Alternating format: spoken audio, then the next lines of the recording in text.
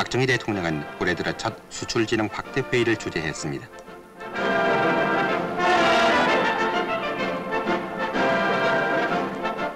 작년도 수출 실적을 분석 검토하고 금년도의 종합 진흥 시책을 확정하는 이 자리에서 박 대통령은 장유와 기술 혁신으로 금년도 10억 달러 수출 목표를 꼭 달성하자고 강조하면서 외자 대부나 내자 지원 등 수출 지원 방안을 각 부처가 1, 4분기 중에 협의 완료하고 월간 수출 계획을 그달 안에 초과 달성해서 연말에 서두르는 일이 없도록 하라고 지시했습니다.